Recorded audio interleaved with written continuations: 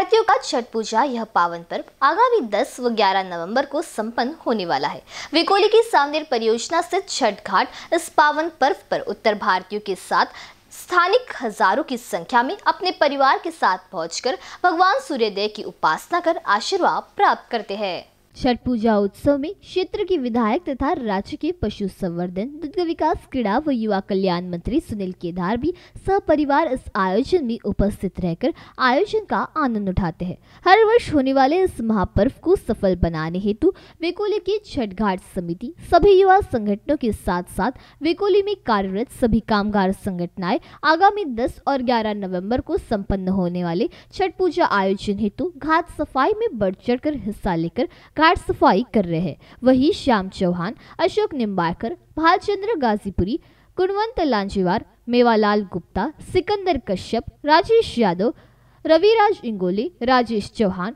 Mukesh Dharbade, Varun Yadav, Sanjay reward आदि इस आयोजन को सफल बनाने हेतु परिश्रम ले रहे हैं। ये तो एक्चुअली घाट छोटा पड़ता है, लेकिन इस विषय में हमारे मंत्री महोदय केदार साहब से बात हुई है कि इस घाट का विस्तार किया जाएगा।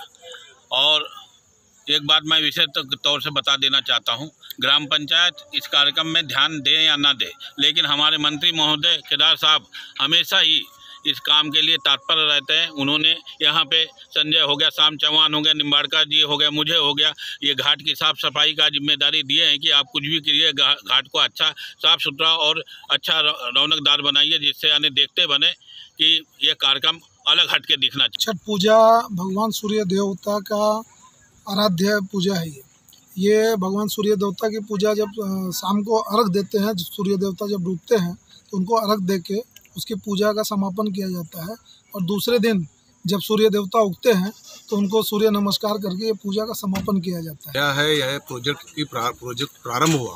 जब से शुरू से शुरुआत हुआ, जब से निरंतर लगातार हर साल इस पर्व का आयोजन किया जाता है। और यहाँ पर पूरे सेंट्रल ट्रेड यूनियन, पाँचों सेंट्रल ट्रेड यूनियन है, ये तन, मन, धन के साथ में पूरे कामगारों का जो प्रतिनिधित्व करते हैं, यहाँ निरंतर उनके साथ में रहते हैं। साथ ही साथ यहाँ पर विगत इतने सालों से ग्राम पंचायत भी साथ में रहती थी, लेकिन इस साल थोड़ा सा उनने भी अपने आप को जिस प्रकार से सहकार्य करना था तो थोड़ा सा अलग हटते हुए दिखे नज़र आएगी ये साल पता नहीं कि क्या हो गया है। ग्राम पंचायत तो हर साल करती है मगर इस साल हम लोगों को भी नहीं पता। परंतु यहाँ पर जो हमारे जो संगठन है पाँचों संगठन जो है हम लोग इनके पीछे हर साल की तरह इस साल भी जो है तन मन धन से भी लगे हुए हैं।